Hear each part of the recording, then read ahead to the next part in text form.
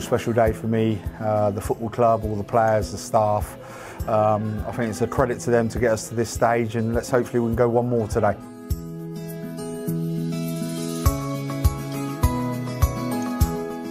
We've got this far and, and now it's just that one final hurdle.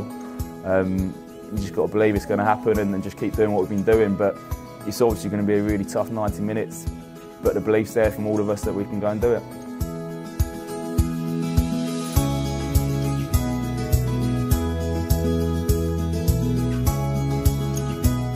Fans are so important. Um, we need them to make it a fortress today and uh, hopefully we can uh, stick together, keep believing and hopefully get the result.